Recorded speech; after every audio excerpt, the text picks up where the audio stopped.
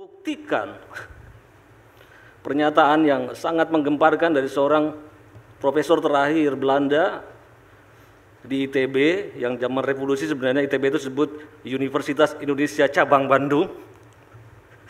Namanya Profesor Busma dia mengatakan kehilangan terbesar bangsa Indonesia dengan kemerdekaan itu bukanlah kehilangan kekayaan tapi kehilangan terbesar bangsa Indonesia adalah ke kehilangan pikiran, kehilangan otak, kehilangan intelektual.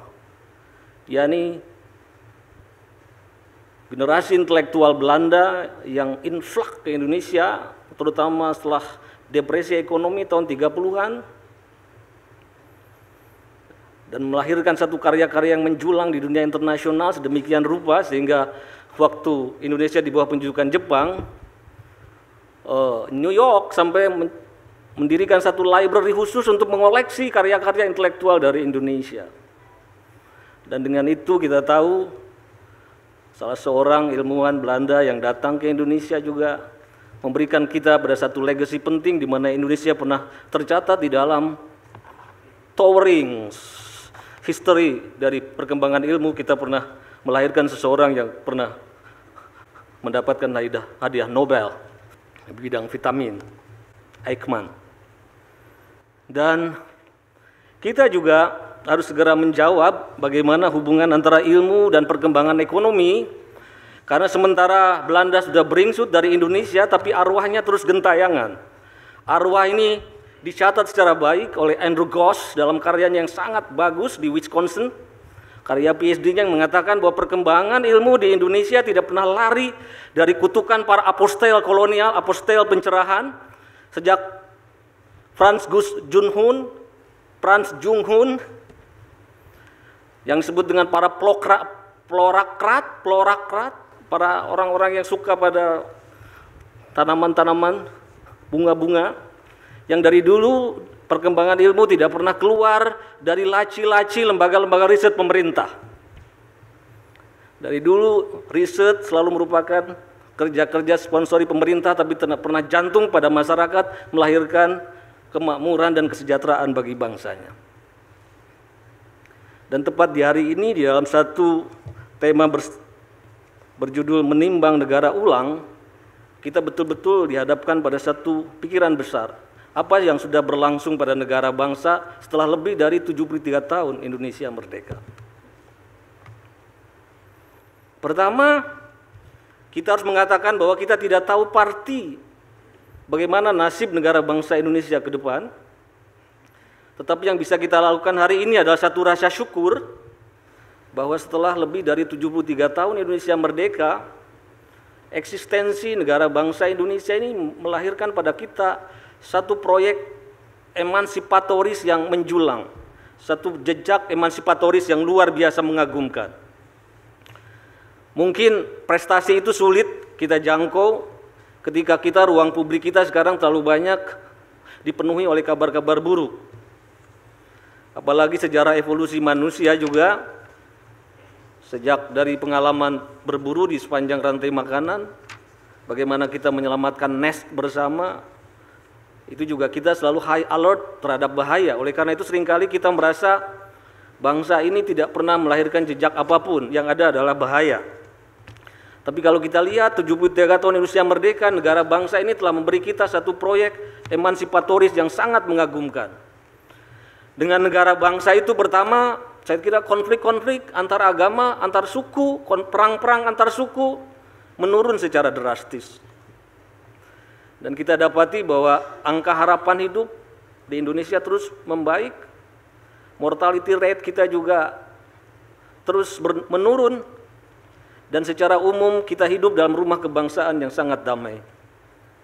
Dan yang paling mencengangkan adalah legacy dari Sumpah Pemuda yang menemukan bahasa Melayu dijadikan bahasa nasional dan dengan itu dengan cepat satu bahasa yang tadinya berasa kampung dari rumpun Melayu Rio dengan cepat tersebar di seluruh Nusantara dan jadi lingua franca bahkan sekarang sudah menjadi bahasa pertama dari banyak generasi milenial hari ini dan memiliki daya adaptif dengan perkembangan baru luar biasa sehingga seorang sarjana Prancis namanya Jerome Samuel mengatakan menulis satu buku yang judul Kasus Ajaib Bahasa Indonesia. Bahasa Indonesia dianggap salah satu bahasa yang paling monumental dan paling berhasil melakukan modernisasi yang ada di muka bumi. Yang hanya mungkin di, bisa dikalahkan oleh bahasa Israel. Bahasa Israel itu dipungut dari museum-museum, dihidupkan kembali dari kematiannya. Tapi setelah bahasa Israel boleh dibilang bahasa yang paling mencengangkan dunia adalah kasus keberhasilan bahasa Indonesia dari satu lokalitas menjadi satu bahasa yang bisa menyatukan begitu banyak etnis kepulauan di Indonesia yang membuat kita masih bisa berkomunikasi satu sama lain, bisa melakukan penyerbukan silang budaya, saling memahami, membangun rumah bersama. Tapi dengan mengatakan begitu bukan berarti kita tidak punya tantangan bagaimana nasib negara bangsa ini ke depan. Supaya bangsa ini masih terus, negara bangsa bisa terus mewariskan jejak-jejak emansipatorisnya, ada sejumlah prasyarat yang harus kita hidupi. Kalau kita gagal memenuhi prasyarat-prasyarat itu bukan mustahil, apa yang diwariskan para pendiri bangsa hari ini deposito. Jadi kalau orang kan sering tercengang bagaimana Indonesia yang begitu berserak, banyak suku, banyak etnis dalam satu bentangan kepulauan yang kalau kita terbang dari Sabang sampai Merauke bisa 8 sampai 9 jam, tidak diurus terlalu baik oleh negaranya tapi masih bisa bersatu. Why? Karena kita hidup di atas deposito yang ditanam oleh para pendahulu kita di masa lalu. Dan sekarang deposito ini karena terlalu banyak kita pakai, kita pakai tanpa reinvestasi. Sekarang deposito ini lama-lama akan aus dan tidak ada sesuatu yang taken for granted. Kita sudah punya pengalaman bahwa negara bangsa bisa jatuh di setiap tikungan. Oke, Pertama, bagaimana nasib negara bangsa ke depan? Di dalam hal ini ada empat skenario yang bisa kita ajukan. Di hadapan pada globalisasi memang setiap nation state dipaksa untuk merumuskan ulang bagaimana peranata-peranata dan manajemen politiknya.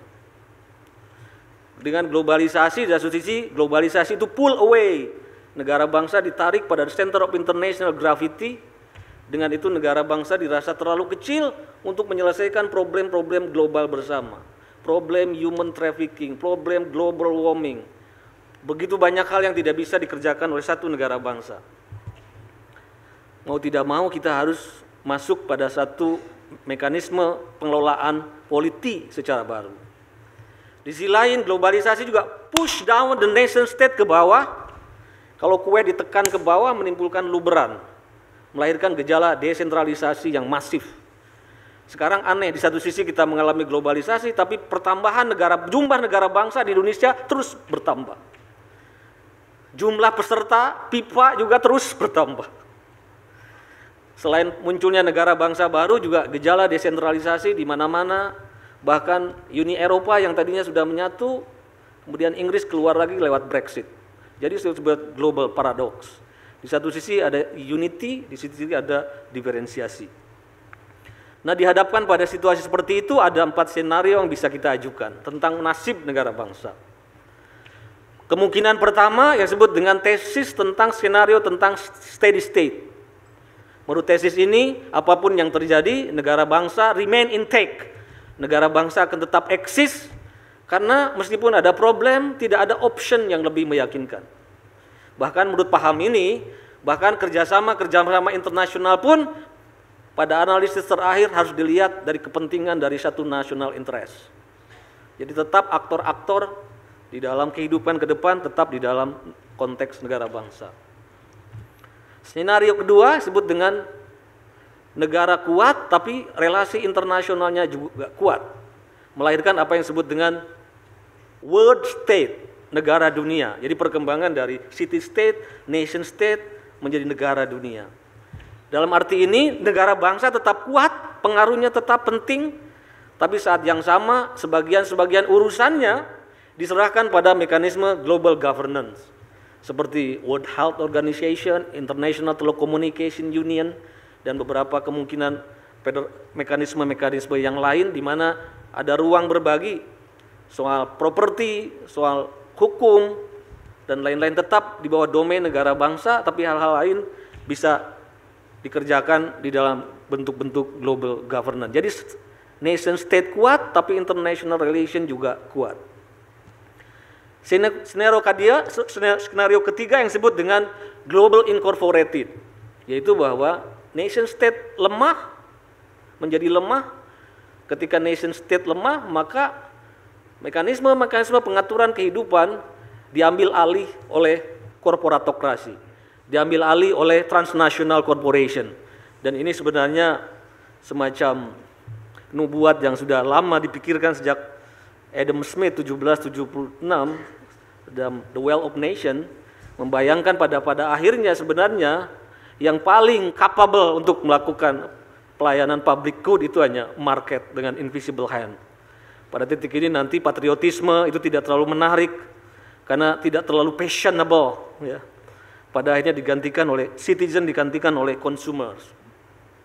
Pada titik ini juga yang disebut dengan global incorporated ketika negara bangsa lemah muncul apalagi misalnya di Indonesia sekarang aspirasi-aspirasi totalitarian dalam bentuk interconnectivity antar negara-negara bangsa dalam satu entitas politik baru di dalam aspirasi totalitarianism terutama yang sekarang berkembang namanya right totalitarian, right Hegelian, fasisme yang kemudian sekarang lebih mengambil bentuk fasisme keagamaan seperti gagasan tentang kehalifahan internasional dan lain-lain.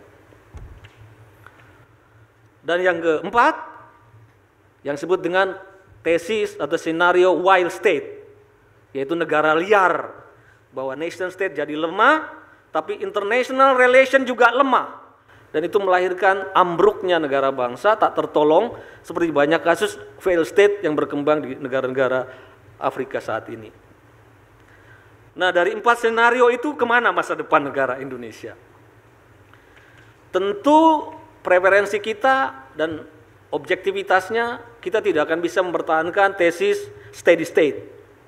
Negara bangsa sudah banyak berubah dan tidak mungkin seluruh urusannya dikerjakan oleh nation state. Kita juga tidak akan terjebak kepada wild state, negara-negara gagal seperti di uh, Afrika, karena dengan itu kita akan kembali kepada the war of all against all, kembali ke perang-perang tribal antar suku yang membuat seluruh proyek emansipasi bangsa ini kembali bubrah. Kita juga tidak akan masuk kepada kemungkinan apa yang disebut dengan global incorporated karena bagaimanapun juga betapapun pasar merupakan satu agent yang paling efektif, paling efisien dalam mendistribusikan sumber daya tapi juga pasar selalu tidak punya komitmen loyalitas pada tradisi, tidak punya loyalitas kepada institusi-institusi kemaslahatan bersama dan juga tidak punya terlalu komitmen pada social justice. Jadi yang paling mungkin preferensi kita adalah memasuki skenario kedua, yaitu yang disebut dengan negara kuat tapi international relation juga kuat, yaitu tesis tentang world state. Ini yang dulu sejak awal para pendiri bangsa, sejak Soekarno sudah membayangkan, dia mengatakan bahwa kita ingin membentuk negara bangsa tapi kita juga ingin menuju kepada persaudaraan bangsa-bangsa. Tapi dengan persaudaraan bangsa-bangsa kita tidak akan terjebak pada kosmopolitanisme yang menolak eksistensi negara bangsa. Lalu dia katakan bahwa nasionalisme akan tumbuh subur dalam taman sarinya internasionalisme dan taman internasionalisme akan tumbuh subur di dalam taman sarinya nasionalisme. Jadi kita akan tetap berdiri sebagai satu nation state tapi saat yang sama ada urusan-urusan yang kita kerjasamakan dalam global governance. Dan para pendiri bangsa punya visi yang sangat jauh di dalam mengantisipasi perkembangan itu. Seperti kehebatan para pendiri bangsa sudah bisa mengantisipasi bahwa Indonesia akan merdeka persis setelah Perang Pasifik berakhir. Nah, sekarang apa pun skenario kita ke depan, apa pun bentuk arrangement, manajemen politik kita ke depan, yang pasti kita tidak terlalu pusing bentuknya akan seperti apa negara kita bangsa ke depan. Yang pasti kalau kita ingin mengembangkan kehidupan politik yang menjamin kebahagiaan, maka kebahagiaan itu tidak bisa lagi diperoleh hanya dari di dalam dirimu sendiri. Happiness doesn't come from within, Happiness tidak bisa datang hanya dari interest-interest pribadi. Happiness harus muncul dari konektivitas kita, berjejaring dengan yang lain, punya solidaritas pada yang lain, membentuk rumah kehidupan bersama Dan di dalam konektivitas, inklusivitas, di interrelasi antar kita membentuk makna hidup yang dengan itu kita bisa memperoleh bahagia bersama bahwa happiness come from between. Dan inilah perbedaan antara gagasan kebahagiaan para pendiri bangsa yang ada di konstitusi kita dengan konstitusi Amerika. Kalau konstitusi Amerika persis mewakili gagasan-gagasan para pemikir awal sejak Epicurus, Jeremy Bentham, yang memandang kebahagiaan hanya proyek perburuan pribadi. Jadi misalnya the pursuit of happiness dalam konstitusi Amerika itu maksudnya justru negara harus memberi ruang pada individu untuk mencari kesenangan sendiri di luar apa yang bisa diatur oleh negara.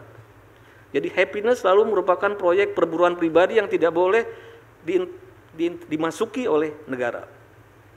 Tapi dalam perkembangan terkini, happiness tidak cukup merupakan proyek perburuan pribadi. Happiness harus merupakan satu proyek perburuan kolektif.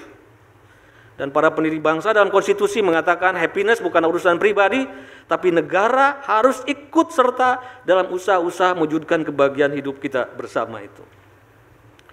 Nah, ketika kita bicara tentang bagaimana wujudkan kebahagiaan hidup kita bersama, maka segera yang kita terbayang adalah bagaimana kita bisa hidup bersama, bahagia bersama di dalam masyarakat Indonesia yang multi agama, multi ras, multi etnis, multi partai, dan multi kelas sosial.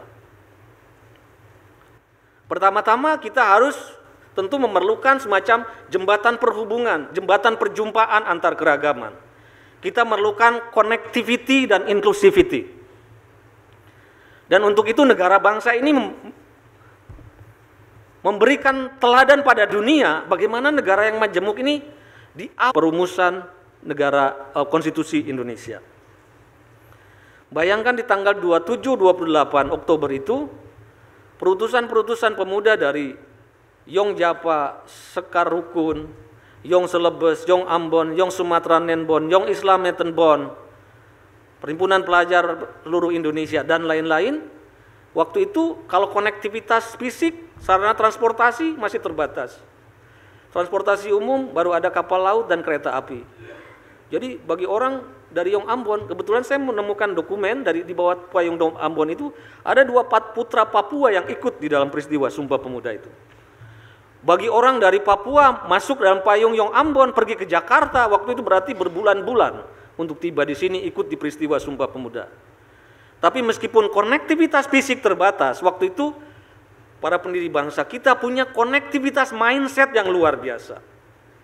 Konektivitas mind dan hati yang luar biasa untuk bisa berencounter berjumpa di dalam ruang-ruang perjumpaan itu.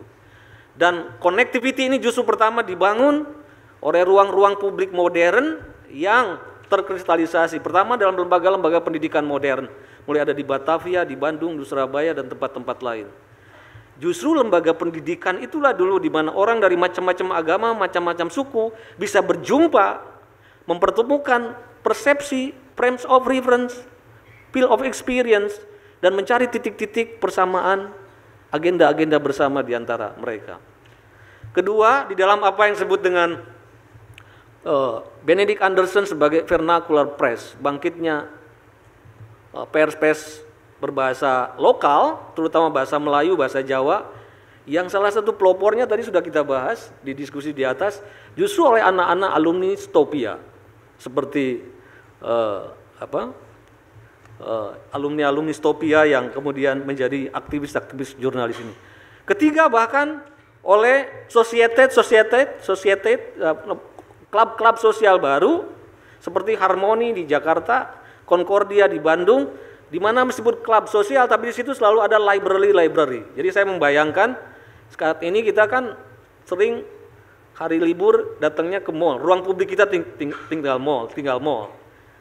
Mungkin ke depan harus kita arrangement bikin arrangement supaya di mall juga ada pasos pasum, ada civic library supaya kita bisa menjadi ruang belajar seperti itu. Nah, ternyata dengan juga dibantu oleh erudisi yang luar biasa, terutama dalam penguasaan bahasa-bahasa asing, itu membuat ternyata erudisi dan minat baca itu membuat banyak orang bisa melempatkan dirinya pada sepatu orang lain, punya sikap empati yang dalam terhadap nasib sesamanya, punya daya jangkau terhadap sesuatu yang meskipun tidak mereka alami sendiri. Jadi ternyata bukan soal terutama konektivitas fisik, tapi konektivitas hati itu dibangun oleh erudisi dan penjelajahan bacaan. Nah itulah yang kemudian kenapa tiba-tiba mereka datang dengan agenda yang sangat emansipatoris berupa Sumpah Pemuda, datang dengan dari sungai-sungai kecil primordial begitu ke Jakarta, semua kemudian tinggalkan sungai-sungai kecil primordial masuk ke samudera kebangsaan Indonesia bersama. Dan apa yang berkembang di Sumpah Pemuda, baik itu mekanisme forum, partisipan, dan kemudian cara mengambil keputusan dijalankan secara eksklusif. Tidak ada satu kelompok yang mendominasi kelompok lain. Semuanya dijalankan secara setara. Dan nanti mentalitas inklusif ini bisa berjejak panjang dalam sejarah Indonesia. Jadi misalnya ketua Kongres Pemuda itu namanya Sugondo Joyo Puspito dari PPPI. Dia memang mendapatkan restu dari Hatta dan Soekarno. Orang banyak nanya, kok Soekarno gak datang ke Sumpah Pemuda? Karena generasi Sumpah Pemuda itu generasi yang lebih muda angkatannya daripada generasi Soekarno dan Hatta. Tapi mendapatkan restu dari Soekarno dan Hatta. Nah Sugondo nanti kelak akan menjadi anggota uh, KNIP dan berapa kali menjadi menteri. Kemudian sekretarisnya, sekretaris kongres namanya Muhammad Yamin. Dia kita tahu, dia mereka jadi anggota BPUPK, dia juga menjadi menjabat begitu banyak menteri dan nanti jangan lupa termasuk menteri pendidikan, menteri kehakiman dan dia juga sebenarnya orang yang ditunjuk di zaman Bung Karno menjadi ketua tim dari apa yang disebut pembangunan semesta berencana yang ujungnya jadi Bappenas itu. Nah kemudian bendaharanya namanya Amir Syarifuddin Harahap. Orang ini monumental. Kalau kita lihat namanya, itu nama Islam. Terlahir sebagai Islam tapi konversi ke dalam Kristen. Dan nanti dia ini orang yang sering kita lupa, di Indonesia pernah kita ini punya kepala pemerintah yang non-Islam. Amir Saripudin menjadi orang Kristen pertama, jadi Perdana Menteri di Indonesia. Kemudian para pembantu namanya Yohanes Lemena. Tahun 45 Soekarno terbang ke Maluku, dia bilang di situ ketemu seseorang, dia bilang, "Bung, di matamu saya lihat dua hal. Kamu orang cerdas, kamu orang yang bisa dipercaya. Dan biasanya kalau indra keenamku bicara begitu, biasanya tidak meleset. Bung, saya akan jadi jadikan showcase di Indonesia yang mayoritas Islam dan Jawa, minoritas sama-sama dihormati. Dan Bung mewakili double minority, Bung Kristen dan Bung Melanesia. Dia angkat menjadi menteri dan kelak orang ini menjadi menteri terlama dalam sejarah Republik, 21 tahun non-stop. Wakil menteri, menteri dan berapa kali menjadi wakil perdana menteri. Jadi luar biasa cara kita membangun konektivitas dan inklusivitas di awal republik ini barangkali tidak ada taranya di muka bumi ini. Nah kemudian konektivitas dan inklusivitas ini juga bisa dipertahankan ketika kita menyusun konstitusi kita. Kita sering lupa sebenarnya di zaman Jepang Indonesia itu dibagi ke dalam tiga zona. Zona Jawa dan Madura, zona Sumatera, dan zona Timur Indonesia. Oleh karena itu namanya BPUPK, Badan Penyelidik Usaha Persiapan Kemerdekaan Indonesia, bukan hanya satu, tapi ada beberapa. Tadinya Jepang tidak punya rencana untuk memerdekakan Indonesia, tapi setelah Jayapura jatuh, tangan sekutu, Biak jatuh ke tangan sekutu, Morota jatuh ke tangan sekutu, maka Jepang merasa perlu untuk membujuk aktivis pergerakan Indonesia untuk mau masih membau membela Jepang.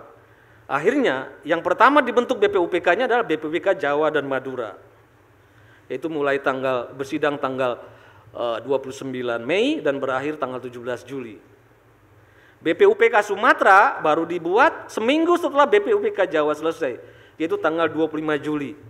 Dikepalai oleh yang pendiri Institut Kayu Tanam itu Muhammad Syafi'i.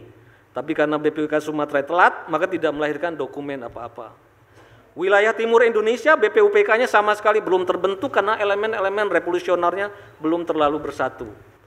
Jadi yang kita sebut sekarang sebagai BPUPKI itu sebenarnya awalnya justru hanya BPUPK Jawa dan Madura saja. Tapi meskipun BPUPK Jawa dan Madura kita lihat, karena waktu itu hampir aktivis dari seluruh Indonesia ada di Jawa. Dari berbagai ukuran, framers konstitusi Indonesia ini sudah mencerminkan skala diversity yang ada. Dari segi etnis di BPUPK bukan hanya Jawa, Sunda, Batak, Minang, Manado, Maluku, Tapi juga ada empat orang Tionghoa, satu orang keturunan Eropa, satu orang keturunan Arab. Jadi apa pun keragaman Indonesia hari ini secara etnis sudah terwakili. Termasuk Cinta Laura pun ada wakilnya. Nabila Syakib ada wakilnya. Olga Lydia ada wakilnya. Yang gitu-gitu saya hafal semua. Dari segi agama, bukan hanya ada orang Islam, ada Kristen. Dan dari empat Tionghoa itu kita tahu Tridharma, ada Hindu, Konfusianisme, dan satu Kristen. Nanti di PPKI ditambah lagi ada dari wakil dari Bali Nusa Tenggara, I Gusti Ketut Puja, orang itu. Dan yang ini yang perlu kita tekankan lagi. Di sana bukan hanya ada pengikut agama-agama mainstream, ada perwakilan dari para penghayat Wongso Negoro itu penghayat, bahkan Rajiman Widyodinegro, Rajiman itu kebetulan dokter juga, lulusan Belanda, ketua BPOPK itu juga penghayat, pengikut agama-agama lokal.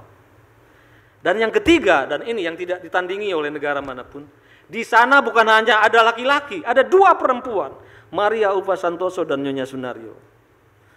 Jadi kalau kita bandingkan dengan framers konstitusi Amerika, kita ini seperti mercusuar yang menjulang dan Amerika adalah kegelapan.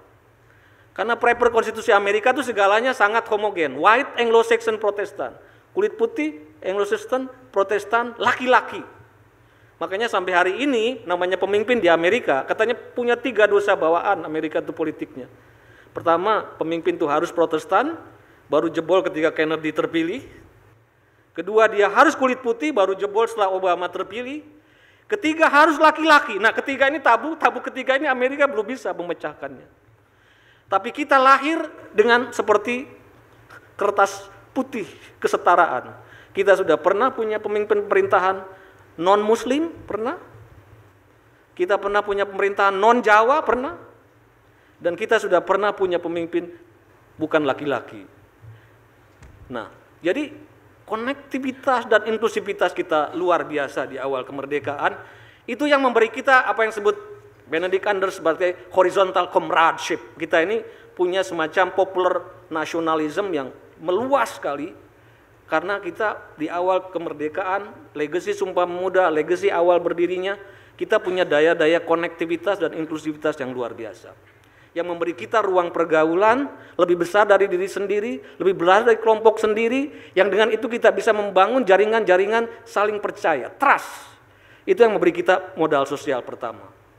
Jadi apa pun ke depan nasib negara bangsa nggak perlu terlalu diperhatikan, tapi yang penting adalah membangun modal sosial berupa jaringan-jaringan konektivitas dan inklusivitas di mana orang bisa lebih besar dari sendiri, kelompok sendiri membangun rasa saling percaya. Dan rasa saling percaya itu yang pudar dalam ruang Indonesia hari ini. Kedua, setelah ada jaringan kolektivitas dan konektivitas, suatu politi, satu komunitas politik hanya bisa dipersatukan kalau punya pengikat. Pengikat dari keragaman individu, keragaman komunal, menuju satu nation bersama, dari satu superorganisme besar, itu memerlukan satu moral besar. Jadi moral ini bukan selalu dalam arti baik buruk. Moral adalah sesuatu yang menyatukan dan mengikat kita sebagai satu kesatuan sosial. Nah, di dalam ahli-ahli moralitas politik hari ini menemukan setiap negara bangsa punya ukuran-ukuran yang berbeda tentang apa yang disebut dengan moral publik itu. Tapi pada intinya ada li, ada enam nilai inti moral publik.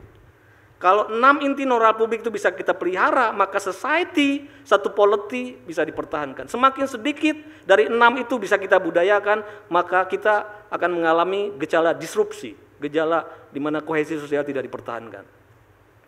Enam nilai yang harus dipenuhi dalam moral publik itu pertama. Pertama namanya care terhadap apa yang membahayakan kita bersama, yang harm. The protection of people from harm. Itu adalah doktrin yang sejak lama oleh termasuk kalangan-kalangan pendukung liberalisme klasik, David Hume, Adam Smith, selalu mengatakan insting pertama kita dalam kehidupan publik itu adalah care terhadap apa yang membahayakan bersama. Kedua, yang kedua namanya fairness. Bahwa moral publik itu dibangun oleh kesamaan persepsi tentang a shared conception of justice. Harus ada fairness, keadilan, kesetaraan, kepantasan yang bisa dialami oleh setiap warga. Yang ketiga namanya liberty. Liberty itu adalah kebebasan dari penindasan, dari represi, dari pengekangan yang membuat potensi-potensi individu tidak berkembang. Yang keempat namanya loyalty, yaitu loyalitas pada institusi dan tradisi bersama. Ibaratnya kalau tiga yang pertama itu driving force bagi kreativitas, kebebasan individu berkembang. Mulai yang keempat ini bicara tentang rumah bersama. Pertama perlu loyalty. Loyalitas pada konsensus bersama, pada tradisi bersama, institusi-institusi yang kita sepakati bersama. Yang berikutnya yang ke berapa nih? Kelima namanya authority Adanya otoritas yang kita respect bersama. Sumber kedaulatan yang kita respect bersama. Ada kerangka-kerangka mekanisme kelembagaan yang tidak boleh terlalu diobrak-abrik karena itu dasar otoritas penting. Jadi misalnya di Amerika waktu itu kita tahu waktu pemilihan presiden antara Al Gore dan George Bush sebenarnya dari popular vote kan kalah nih Al Gore. Eh, George Bush kalah. Jadi muncul pikiran-pikiran di Amerika kalau gitu kita ubah sistem demokrasi di Amerika dengan berbasis pada popular vote. Tapi kata Amerika, kalau kita kembali ke popular vote, berarti kita mengkhianati tradisi federalisme Amerika. Jadi apa pun segala sistem politik tidak pernah akan sempurna, tapi kita harus loyal pada sistem otoritas yang kita sepakati bersama. Orang boleh tidak setuju pada eksistensi MPR, tapi Indonesia tanpa MPR kehilangan seluruh basis-basis otoritasnya itu. Dan yang terakhir namanya sanctity. Tentang sesuatu yang disucikan bersama. Suci di sini tidak harus dalam arti keagamaan, tapi sesuatu yang paling supreme, sesuatu yang dianggap paling penting, paling dimuliakan. Nilai apa yang paling dimuliakan oleh satu society? Nah, kalau kita lihat care, fairness, dan liberty itu yang sering menjadi anutan dari kelompok liberal dalam hal ini liberal kiri Amerika karena kalau kita lihat teks-teks di Indonesia kalau li, disebut liberal itu liberal dalam konteks Eropa karena di Eropa itu dengan kehadiran komunisme maka liberal itu jadi bourgeois gitu. Tapi di Amerika karena tidak ada komunisme maka liberal dan kiri itu menyatu jadi progresif yang terwujud dalam partai Demokrat. Jadi Demokrat selalu mempertimbangkan aspek tadi care liberty dan fairness. Sedangkan loyalty Authority dan sanctity itu biasanya yang menjadi pegangan dari kelompok blok konservatif. Jadi kira-kira bagi konservatif, bagaimana mungkin kalian akan membuat lebah-lebah itu merdeka kalau kita membakar rumahnya sendiri. Jadi inovasi boleh, tapi tidak boleh merubah, merombak rumah, menghancurkan tatanan rumah bersama. Oke. Kalau begitu bagaimana moral publik Indonesia supaya tadi konektivitas dan inklusivitas ini bisa dibinding, diikat dalam satu moral publik yang sama. Nah itulah yang dirumuskan pertama-tama di sidang BPUPK ketika Rajiman mengatakan atas dasar apa negara Indonesia nanti akan didirikan. Ketika gilir kira kurang lebih ada sekitar 33 39 pembicara sebelum Bung Karno dan ketika giliran Soekarno mengatakan kita harus mencari satu dasar yang membuat Tuan Ki Bagus bersetuju, Tuan Yamin bersetuju, Tuan Maramis bersetuju, Tuan Lim Kun Hian bersetuju. Dasar yang menjadi titik temu moral bersama. Yang kita tahu yang akhirnya kemudian dirumuskan dengan apa yang disebut dengan Pancasila itu. Kalau kita lihat Pancasila, Pancasila bisa dijelaskan oleh enam nilai inti dari moral publik itu. Pertama, ketuhanan itu bicara tentang sesuatu yang sanctity, sesuatu yang kita sucikan bersama. Nah, dalam hal ini seperti saya katakan tadi, yang disebut suci itu tidak harus bernama ketuhanan. Misalnya pada generasi Sumpah Pemuda, yang paling disucikan itu justru spirit kegotong royongan. Persatuan harus dikedepankan, hanya dengan persatuan kita bisa merdeka. Tapi di dalam Pancasila secara vertikal yang sanctity itu Tuhan. Dalam hal ini kita bisa jelaskan bahwa ketuhanan dijadikan sebagai sesuatu yang suci itu sebenarnya memang ada dasar pembenarannya. Untuk membenarkannya misalnya kita bisa pakai argumen sosiologis dari Emile Durkheim. Dia mengatakan manusia sebagai homo sapiens itu pada dasarnya homo duplex. Maksudnya apa? Bahwa dalam kehidupan sehari-hari, di dalam relasi antar individu di dalam kelompok, sebenarnya manusia itu tidak terlalu kehilangan otonominya. Dia akan tumbuh sebagai pribadi, tidak kehilangan banyak otonominya. Tapi dia bilang, ada momen-momen tertentu di mana manusia itu switch dari relasi antar individu menjadi relasi antar sosial yang menggabungkan begitu banyak identitas tapi dipersatukan oleh apa yang sesuatu yang dipandang sebagai sacred yang suci dalam kehidupan yang suci. Jadi dari ruang profan maksud ke ruang yang sifatnya transenden yang suci. Lalu dia katakan sebenarnya kalau yang pertama yang profan itu relasi antar pribadi, yang suci itu relasi antar sosial. Dan dia bilang bolak-balik antara yang profan dan yang suci inilah yang melahirkan ide tentang Tuhan, tentang etika, tentang moral dan lain-lain. Nah, fungsi utama dari Tuhan dan agama justru untuk sebagai dasar penyatuan penyatuan sosial. Jadi fungsi utama Tuhan dan agama itu ada integrating factor di dalam masyarakat. Dalam hal ini juga misalnya Robert Putnam sangat mengapresiasi afinitas orang-orang Amerika terhadap gereja dan lain-lain. Dia bilang Putnam tidak terlalu mengapresiasi kelompok-kelompok suku. Dia bilang kalau suku itu tertutup, Bahkan semakin banyak kita mengglobalisasi suku, semakin kita terlalu banyak mengapresiasi keragaman, yang terjadi malah bukan orang tak kurang rasis malah tambah rasis dia bilang. Tapi dia mengapresiasi konektivitas keagamaan karena agama mampu menautkan keragaman suku, kelas sosial, lokalitas ditarik secara vertikal karena kesamaan-kesamaan komunitas agama. Jadi hanya dengan satu langkah lagi dari komunitas agama itu kalau dia masuk secara sivilisasi ke dalam ruang publik, dia akan menjadi basis modal kapital kita, sosial kita yang luar biasa. Oke, jadi secara vertikal kegotong royongan sebagai warisan Sumpah Pemuda itu tetap dipertahankan, tapi merupakan dijadikan secara vertikal, ditarik merupakan emanasi dari yang transenden, yang tak terhingga itu. Ya, sebenarnya ini penjelasannya harus dilihat dari kosmologi Indonesia bahwa kosmologi Indonesia itu kata kata, kata Clifford Geertz, perilaku manusia itu ditentukan oleh pandangan worldview dan etosnya. Dia katakan etos Nusantara itu bersifat iluminasi, iluminasionisme. Maksudnya apa? Segala sesuatu, segala yang beragam di muka bumi ini saling berpasang-pasangan, saling mengandaikan, tapi merupakan pancaran dari sumber yang sama. Ya, ini mungkin kalau di dalam Jawa disebut loroning atunggal gitu. Ada siang, ada malam, ada terang, ada gelap, ada laki, perempuan. Kelihatannya berbeda, tapi sebenarnya satu kelengkapan dari keutuhan totalitas hidup. Nah oleh karena itu kata Goetz, etos Nusantara itu bersifat gradualistis, estetik, dan toleran. Perbedaan tidak dianggap seperti dalam manisian, di mana harus saling menghabisi, tapi perbedaan diterima sebagai cara untuk saling melengkapi dan menyempurnakan.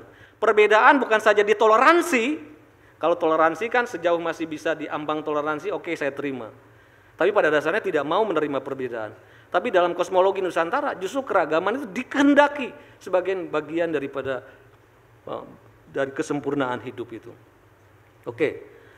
Yang kedua, sila kedua kemanusiaan. Sila kedua kemanusiaan itu sebenarnya merupakan inti nilai dari liberty dan care Kemanusiaan yang adil dan beradab itu adalah esensinya care, peduli terhadap apa yang membahayakan bersama, dan liberty, tentang kebebasan individu, kebebasan, dan di kita hebat juga nih, konsepsi tentang hak di kita ini lebih luas ketimbang hak yang didefinisikan oleh dokumen-dokumen lain. Jadi kita mengakui hak asasi yang sifatnya universal, seperti misalnya pasal 29 tentang kebebasan beragama yang keyakinan, itu sejak awal diakui kebebasan yang sifatnya universal.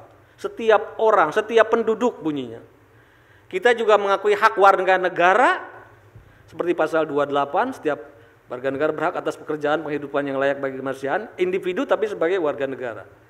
Kita juga menghargai hak sebagai ulayat, komunitarian, dan kita juga menghormati hak yang sifatnya sesak sosial, kolektif, seperti pasal 33 dan lain-lain itu. Nah sila ketiga persatuan itu sebenarnya basis moral dari yang disebut dengan loyalty. Loyalitas terhadap tanah air, loyalitas terhadap tradisi kita bersama, ikatan manusia dengan geopolitiknya dan bahwa cinta negeri amor patria itu sumber dari segala kebajikan hidup. Dalam hal ini uh, Machiavelli, sayang Machiavelli ini terlalu disalahpahami. Dia itu kan pemikir terbesar daripada kecinta negeri itu. Dia bilang kenapa banyak korupsi merajalela? Sebab pokoknya karena berarti banyak orang yang tidak lagi mencintai negerinya. Jadi amor patria adalah sumber dari moralitas. Sila keempat, kerakyatan yang dipimpin itu adalah sumber daripada authority. Dan authority itu di kita punya penjelmaannya sendiri yang harus mewakili seluruh kekuatan Indonesia. Ada representasi yang mewakili individual right lewat partai politik DPR. Ada authority yang mewakili komunitarian right terutama kelompok-kelompok marginal lewat utusan golongan dan authority yang mewakili daripada territorial right yang disebut dengan utusan daerah. Maka dulu dikatakan MPR ini penjelmaan seluruh rakyat, orang perorangan, penjelmaan seluruh golongan, dan penjelmaan seluruh wilayah Indonesia. Dan yang ke sila kelima, keadilan sosial bagi seluruh rakyat Indonesia bicara tentang fairness. Bicara tentang keadilan, kesetaraan, kepantasan. Jadi kalau kita lihat, ini mengagumkan menurut saya, baru belakangan seperti Jonathan Haidt merumuskan tentang basic daripada moral publik. Tapi para pendiri bangsa sejak tahun 45 merumuskan Pancasila, tapi kalau kita lihat memenuhi hampir semua apa yang diperlukan oleh moral publik itu. Dan yang lebih mengagumkan lagi, kita menggabungkan elemen moral publik dari right, dari kelompok kanan dan kelompok kiri, dari liberal dan konservatif. Jadi Pancasila sudah beyond left and right. Dan itu menjadi tren hari ini, jalan ketiga. Oke, ya jadi kita sudah punya connectivity, inclusivity, lalu diikat oleh moralitas. Maka dikatakan moral is binding and blinding.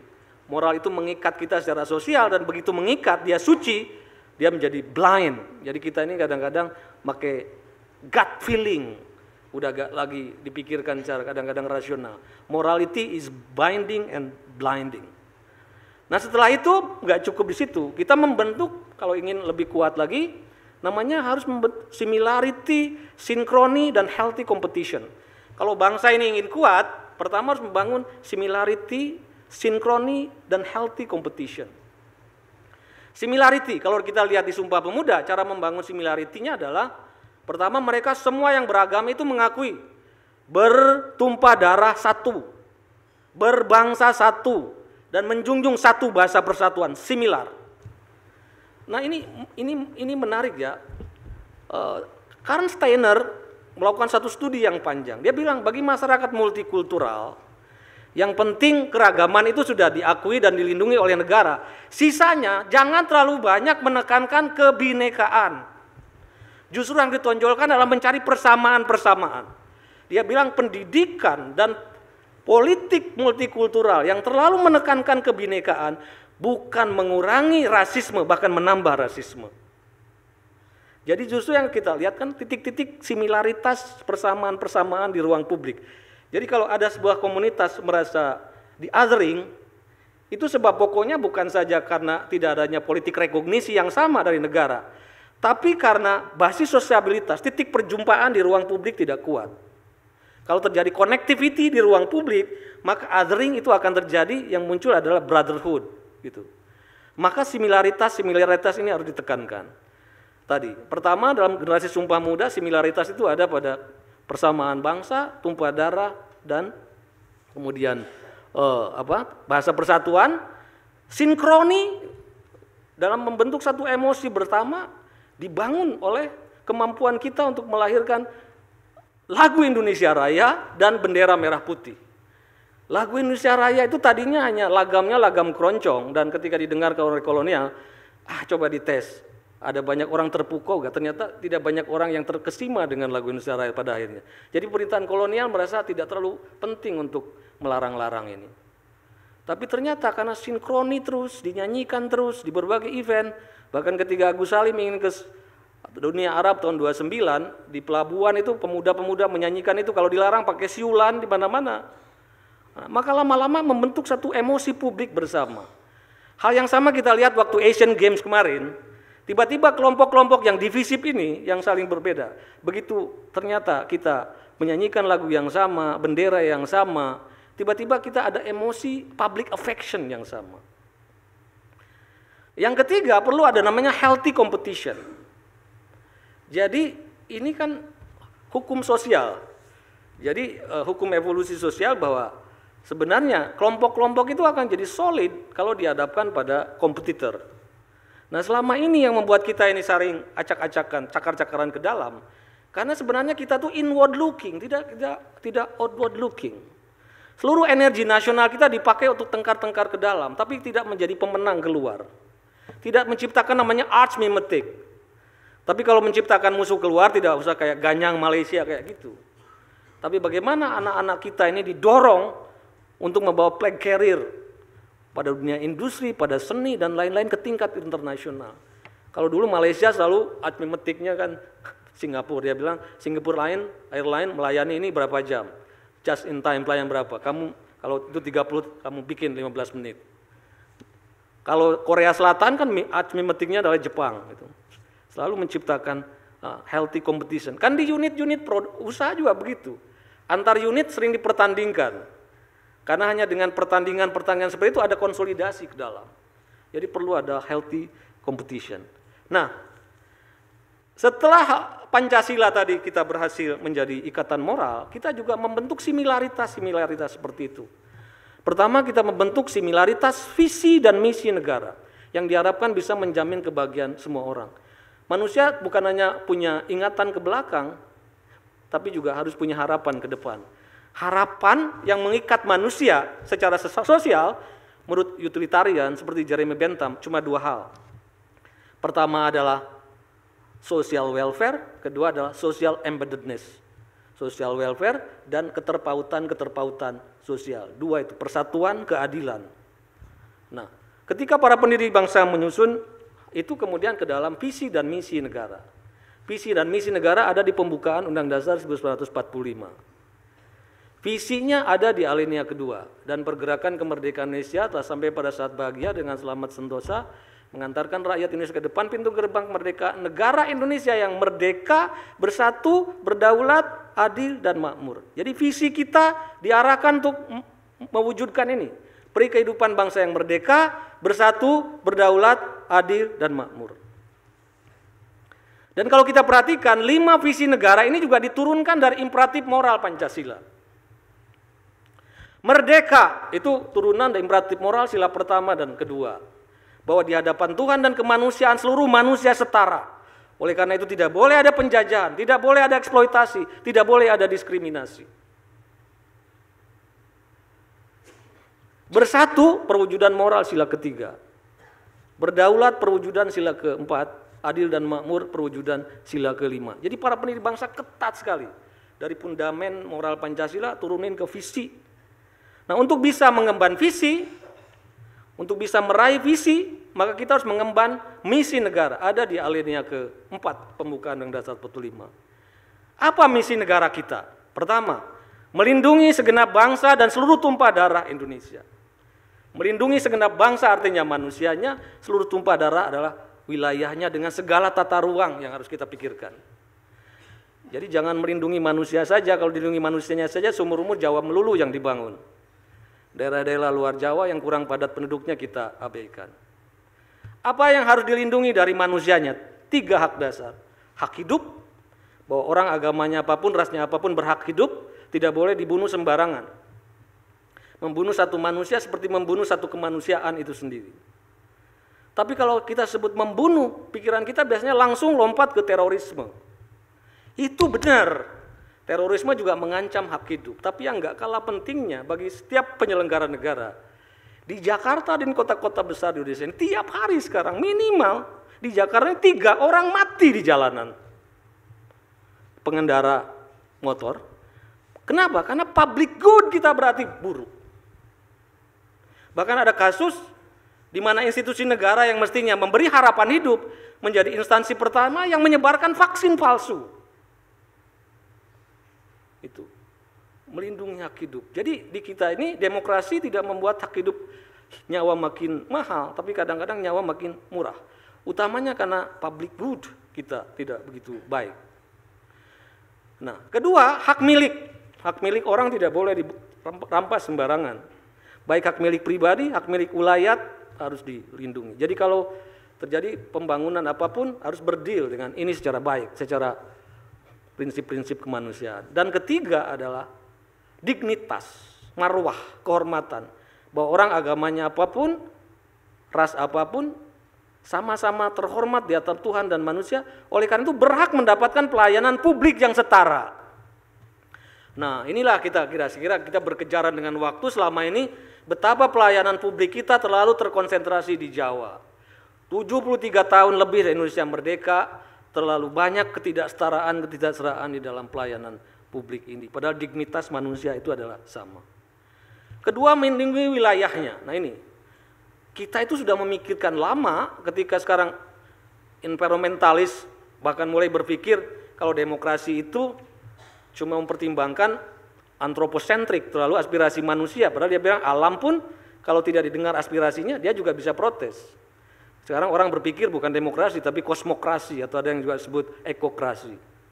Nah para pendiri bangsa sudah tiba ke sana. Bahkan Hatta ketika sekali waktu ke Danau Toba, dia lihat sepanjang Samosir itu dia lihat.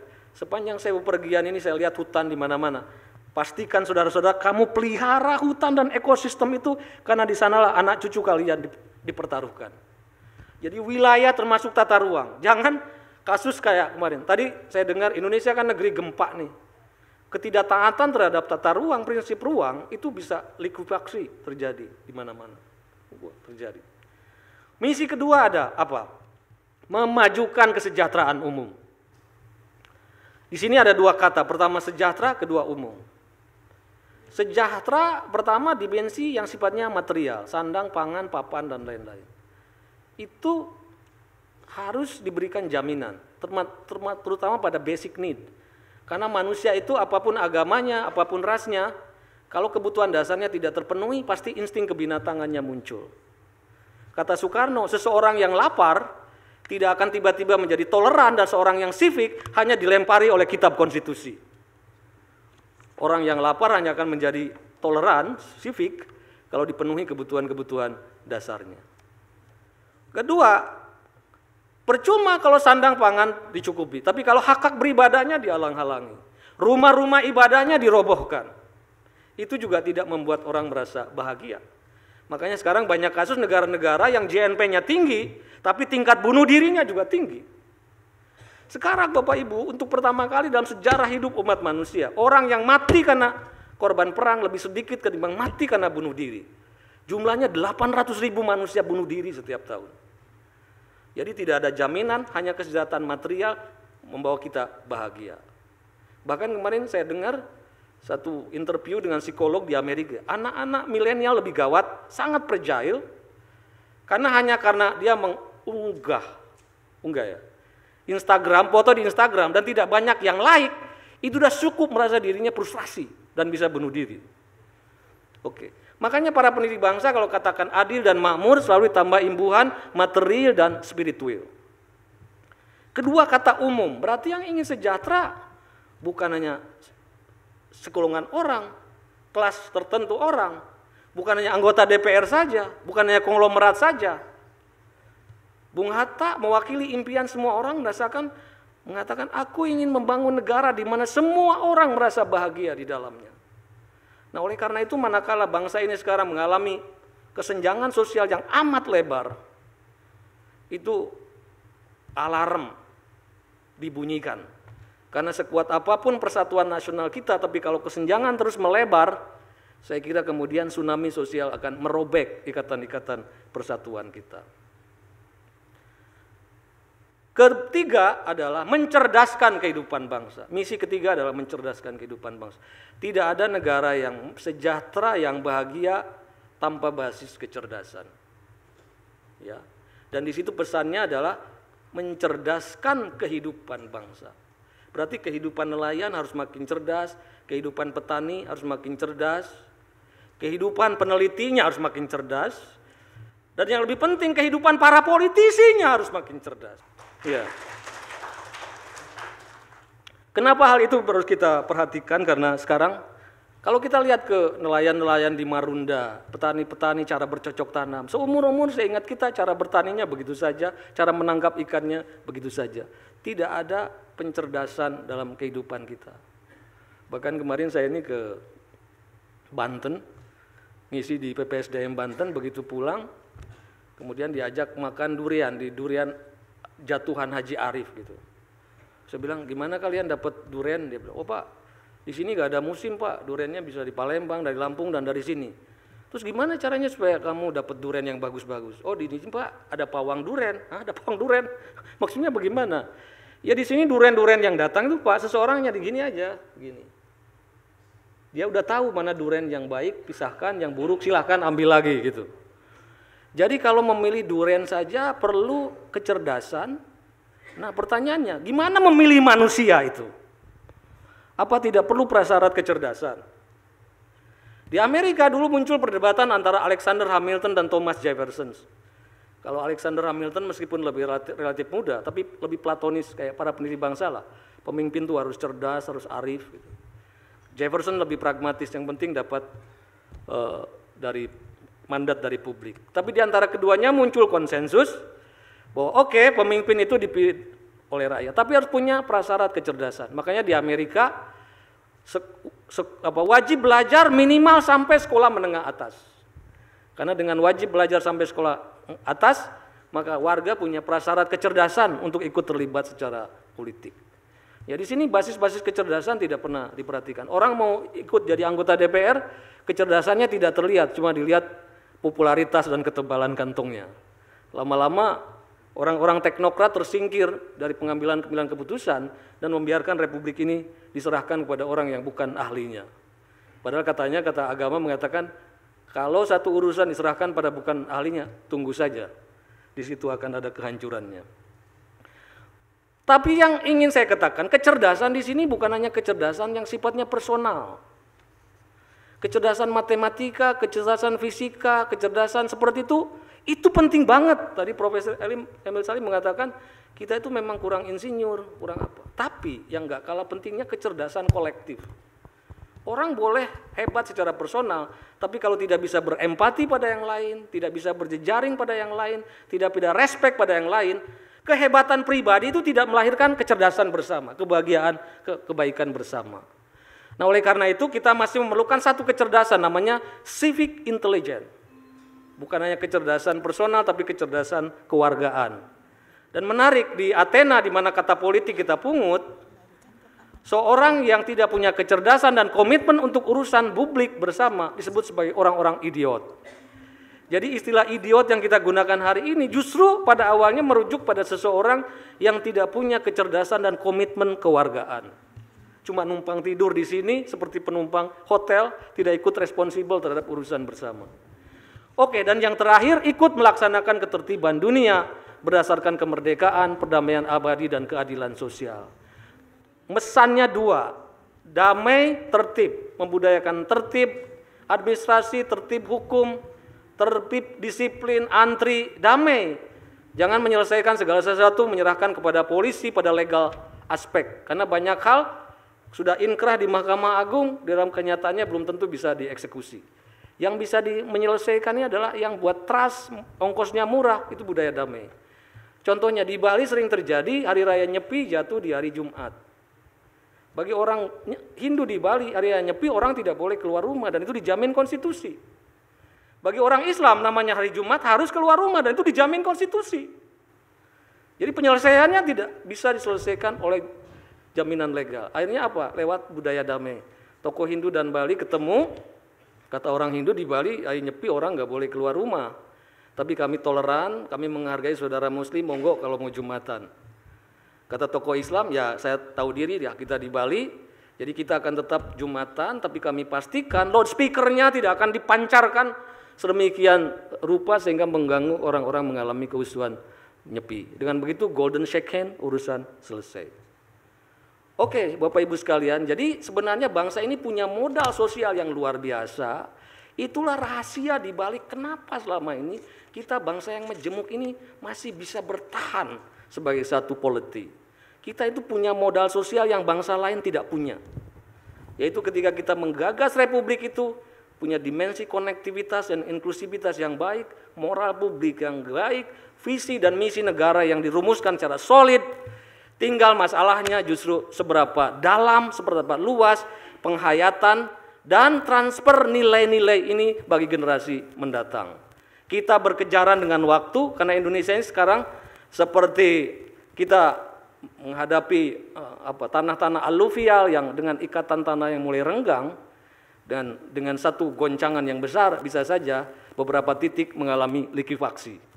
Dan oleh karena itu sebelum itu saya kira kita sebagai orang-orang yang terdidik, terhormat sudah saatnya kita bikin lagi satu haluan semacam blueprint bagaimana negara ini harus ditata kelola. Jangan sampai para pengemudi republik mengemudikan pesawat seperti kasus kemarin kasus pesawat apa Lion Air mengemudikan dalam kondisi buta yang bisa saja menjadi sinking. Dan pada akhirnya seperti dikatakan bahwa sebuah bangsa tidak akan uh, tenggelam hanya karena kurang adidaya atau kurang sumber daya. Sebuah negara bangsa akan tumbang hanya karena salah urus, salah manajemen yang tidak taat azas kepada prinsip-prinsip yang kita sepakati bersama. Saya kira itu saja yang bisa saya sampaikan. Terima kasih. Assalamualaikum warahmatullahi wabarakatuh.